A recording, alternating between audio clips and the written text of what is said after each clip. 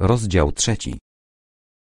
Sposób na bestię. Przygoda podczas podróży. O urokach Pragi słów kilka. Pies, który pilnuje ręcznika. Ikona za 15 tysięcy koron. Pan Dochnal i jego córki. Kobieta czy mężczyzna. Pojawienie się Supermana. Protazy gryzie magistra skwarka i co z tego wynikło.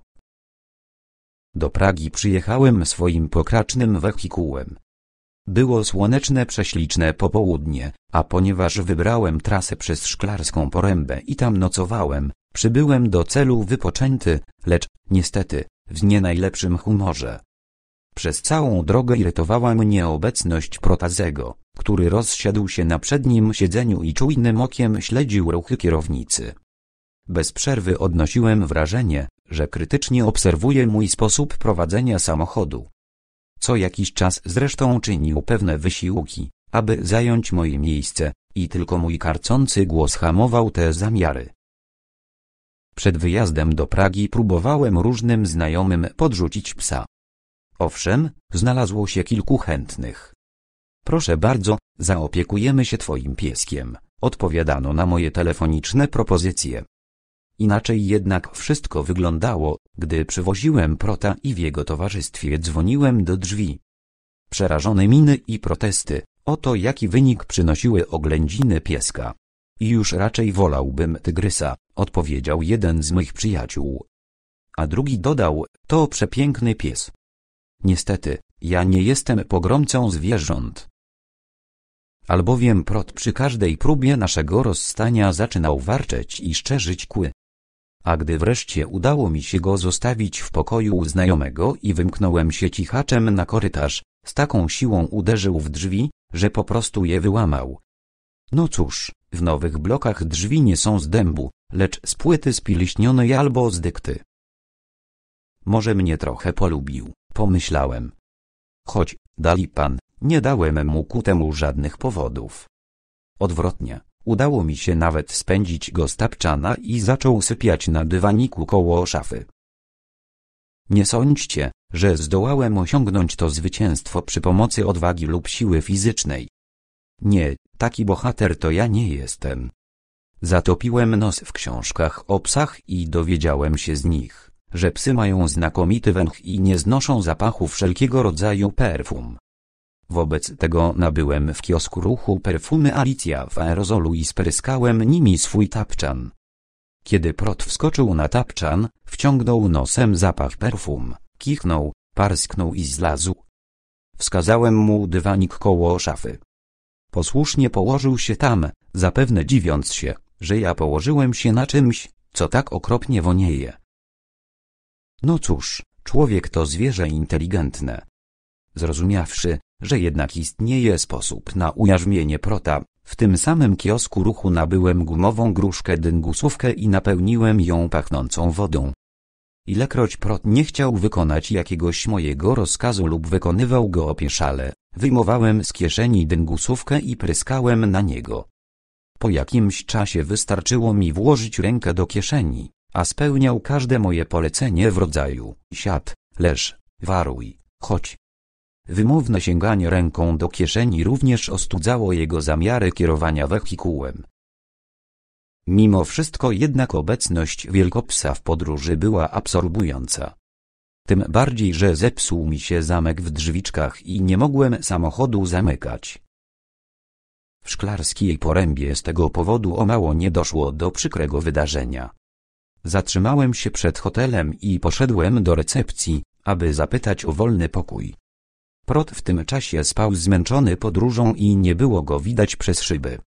Jakiś wyrostek zauważył, że nie zamknąłem drzwi i chciał skorzystać z okazji, by ukraść leżący na wierzchu aparat fotograficzny.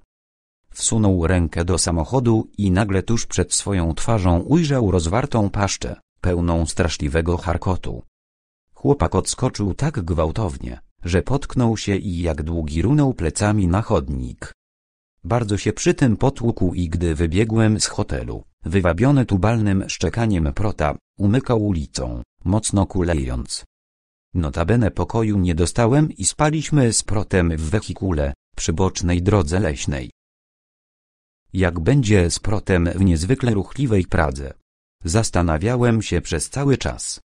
Wyobrażałem sobie liczne nowe kłopoty i to właśnie spowodowało ponury nastrój, w jakim powitałem przedmieścia Pragi. A Praga, jak chyba wiecie, to miasto przepiękne i prawdziwy raj dla ludzi mojego pokroju, to znaczy zakochanych w starociach i zabytkach. Historyk sztuki może tu spędzić wiele miesięcy i nigdy się nie znudzi oglądaniem miasta, ulic, kościołów, galerii. Praga liczy sobie ponad tysiąc lat i z powstaniem jej, jak z każdym starym miastem, związana jest legenda. Czeska opowiada o księżnej Libuszy, która miała swój warowny gród na wyszehradzkiej skale i dla wzmocnienia obronności swej ziemi kazała wznieść po drugiej stronie rzeki drugą warownię, a przy niej powstało miasto, Praga. Legenda mówi również o złotej kolebce królów czeskich, którą Libusza ukryła w nurtach Wełtawy. Miasto leży na siedmiu wzgórzach, po obydwu stronach Wełtawy, której piękno tak niezwykle i niepowtarzalnie wyraził w swej muzyce Bedrzich Smetana. Obydwa brzegi rzeki łączy wiele mostów, a najpiękniejszy chyba i najstarszy to słynny most Karola. Która Praga jest ciekawsza i piękniejsza, lewobrzeżna czy prawobrzeżna? Nie wiem i myślę, że nikt na to pytanie nie potrafi odpowiedzieć. Na lewym brzegu wznoszą się Hradczany, słynny praski Hrad, z zamkami, pałacami, świątyniami o niezwykłej urodzie. Na lewym brzegu leży Malastrana, o malowniczych wąskich uliczkach i uroczych ogrodach. Tu każdy miłośnik literatury skieruje swoje kroki na wzgórze Petrzin, gdzie w starym klasztorze na Strachowie mieści się Instytut Czeskiej Literatury i Muzeum Piśmiennictwa. Przeurocza jest wyspa Kampa, z rzeką Czertowką i domami wyrastającymi z wody, jak w Wenecji. A prawy brzeg? Stare miasto ze wspaniałym ratuszem i niezliczonymi zabytkami architektury. Józefow, żydowska dzielnica ze starym cmentarzem i kilkoma synagogami. Nowe miasto, plac Wacława, czyli słynne wacławskie namiesti, ruchliwe centrum miasta, Muzeum Narodowe, Teatr Narodowy, na prawym brzegu rozciągają się także ogrody Wyszehradu. Jeśli ktoś chce się kierować metryką, warto, aby wiedział, że najstarsze jest Stare Miasto, bo powstało w 1232 roku, Malastrana w 1257 roku, Hradczany na początku XIV wieku i Nowe Miasto w 1348 roku. Praga w przeszłości to były aż cztery miasta, otoczone murami i posiadające swoje własne przywileje. Ba, tych miast było właściwie nawet pięć, bo istniała przecież specjalna dzielnica żydowska, Józefow, z własnym ratuszem i własnymi władzami. Trzeba o tym pamiętać, gdy się zwiedza Pragę, i nie dziwić się, jeśli wam wskażą ratusz staromiejski, a potem nowomiejski, rynek na Starym Mieście i rynek na Nowym Mieście, i rynek na Małej Stranie. To były bowiem, jak wspomniałem, cztery, a nawet pięć oddzielnych miast, które scalono w jedno stosunkowo późno, dopiero w 1784 roku. Józefow stał się częścią Pragi jeszcze później, bo w 1850 roku.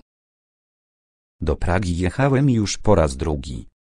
Z pierwszego swego pobytu, który wypełniony był nieustannym zwiedzaniem zabytków, utrwalił się w mej pamięci obraz miasta o niepowtarzalnej urodzie. Wędrówka po nim jest nieustającą przygodą, bo co krok zaskakuje jakiś piękny zakątek. Trzeba by tu żyć długie lata, aby poznać wszystkie urocze zaułki, bulwary, skwery, place i placyki. I żyją tu ludzie bezgranicznie zakochani w swoim mieście. Potrafią cię o każdej porze oprowadzać po jego ulicach abyś ty także nauczył się je podziwiać. Do takich należał i pan Jarosław Dochnal, do którego jechałem. Z wykształcenia, podobnie jak ja, był historykiem sztuki, przez wiele lat pracował w jednym z praskich muzeów, a obecnie, na skutek przebytej choroby, przeszedł na rentę i dorabiał sobie jako rzeczoznawca w sklepach z dziełami sztuki. W jego mieszkaniu przy ulicy Paryskiej można było obejrzeć wiele staroci, które zbierał przez całe lata. Panowała tam zawsze atmosfera miłości do staroświecczyzny. Jego córka, Panna Helena Dochnalowa ukończyła również historię sztuki i pracowała jako kustosz w zamienionej ostatnio na muzeum, słynnej Złotej Uliczce.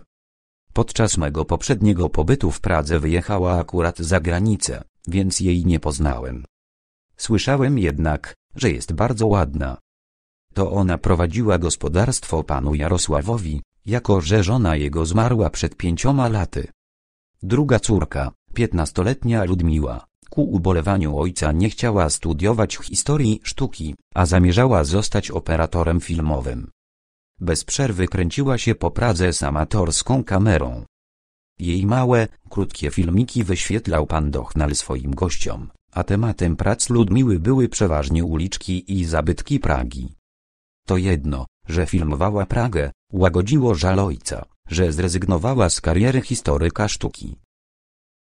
Pan Dochnal zajmował trzypokojowe mieszkanie na drugim piętrze secesyjnej kamienicy, prawie naprzeciw staronowej synagogi. Wiedziałem, że gdybym po przybyciu do Pragi pierwsze swe kroki tam skierował, musiałbym już u niego zamieszkać, tak był gościnny. Ale zamieszkać u niego z dogiem, który miał ogon jak pałka milicjanta? W mieszkaniu pana Dochnala stały na etażyrkach i półeczkach przeróżne śliczne cacuszka z porcelany i fajansu. Jedno machnięcie protowego ogona zmiotłoby z półek te delikatne cudowności. Nie, z protem nie miałem się co pokazywać u przemiłego Czecha. Z ministerstwa otrzymałem trochę koron, stać mnie było na zamieszkanie w hotelu. Ale dostać pokój hotelowy pod koniec czerwca, to było marzenie nierealne i niezniszczalne. Nawet nie skierowałem wehikułu na Wacławskie Namiesti, gdzie dumnie wznosiły się hotele Ambasador lub Jałta. Po cóż zresztą był mi hotel czy mieszkanie z czterema ścianami i sufitem? Czyż nie miałem rozkładanych siedzeń w swoim wehikule i czy nie starczyło miejsca dla mnie i dla prota? Pojechałem więc na kemping przy ulicy Uledaren 55, opłaciłem należność za parking, skorzystałem ze znajdującego się na kempingu na trysku, zjadłem obiad kolację w kempingowej restauracji, nakarmiłem prota i zatelefonowałem do pana Dochnala, aby poinformować go, że zjawiłem się w Pradze. Odebrała telefon Ludmiła. Ach, to pan Tomasz. Zawołała uradowana, gdy się przedstawiłem. Proszę do nas zaraz przyjechać. Ojciec strasznie się ucieszy. Nie ma go w tej chwili, ale zaraz wróci. I Helena także. Wyszła, żeby na przykopie kupić pamiątkę dla magistra Skwarka, bo ona poznała tu pewnego Polaka, pana Skwarka. Halo, dlaczego pan milczy? Czy pan mnie słyszy? Ludmiła trajkotała. Oczywiście po czesku. Znam dość dobrze ten język, więc rozumiałem, o czym mówi. Jeśli milczałem, była tego inna przyczyna. Po prostu, przez szybę kabiny telefonicznej, która stała niemal na środku kempingu, widziałem zbierający się tłum turystów przy drzwiach do budynku z umywalnią i natryskami. Ten tłum zachowywał się bardzo dziwnie. Jedni uciekali spod drzwi, inni skradali się do nich i po chwili czmychali jak zające. A we mnie powoli narastały złe przeczucia. Przyjadę. Zaraz do was przyjadę. Tylko ten diabelski pies. Powiedziałem wreszcie do telefonu. Pies. Uradowała się jeszcze bardziej Ludmiła. Niech pan przyjedzie z psem. Uwielbiam psy. Postanowiłam zrobić kolekcję fotograficzną psich fizjonomii. Powiesiłem słuchawkę i wybiegłem z kabiny. Moje złe przeczucia przerodziły się w pewność. Albowiem od strony natrysków usłyszałem groźne ujadanie prota. Tłum turystów kłębił się wciąż przed drzwiami do umywalni. To jakaś szalona bestia. Czy on się nie wyrwał ze zwierzyńca? A może jest wściekły? Czyj to pies? Kto z państwa wie? Te okrzyki padały w najróżniejszych językach. Po niemiecku, po angielsku i po francusku.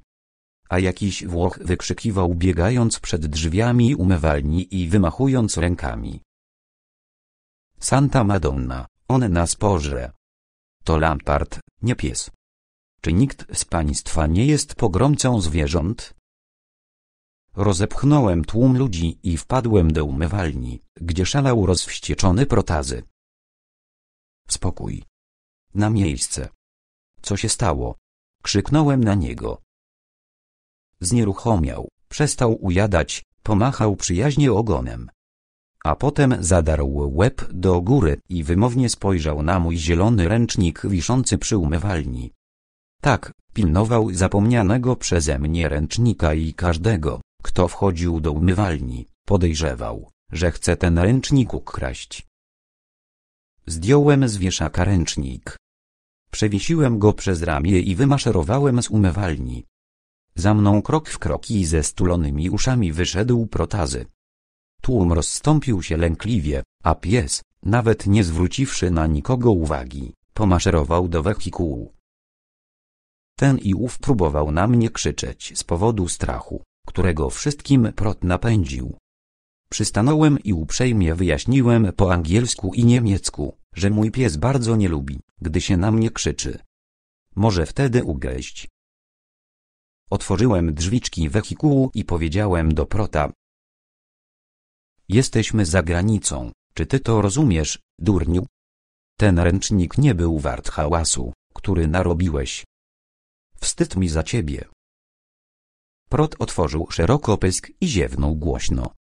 Dał mi do zrozumienia, że bardzo lubi takie zabawy, jak ta w umywalni. Po drodze do domu pana Dochnala wstąpiłem do warsztatu samochodowego z prośbą o naprawę zamka w drzwiczkach. Okazało się, niestety, że zamka nie uda się zreperować i trzeba go wymienić na inny. A tę robotę w warsztacie zgodzono się wykonać dopiero na zajutrz. Tak więc tego dnia musiałem jeździć z zepsutym zamkiem, co mogło mnie narazić na mandaty, jako że karze się tych, co pozostawiają na ulicy niezamknięte samochody. Gdy przyjechałem na ulicę paryską, pan Dochnal zdążył już nadejść i czekał na mnie w swoim gabinecie, Ludmiła zaś kręciła się w kuchni, parząc dla nas czarną kawę. Gdzie pies? Zapytała otwierając mi drzwi. Ach, pies. Machnąłem ręką nie spiesząc się z wyjaśnieniami, gdyż przerażała mnie myśl, że zechce, abym prota sprowadził do mieszkania.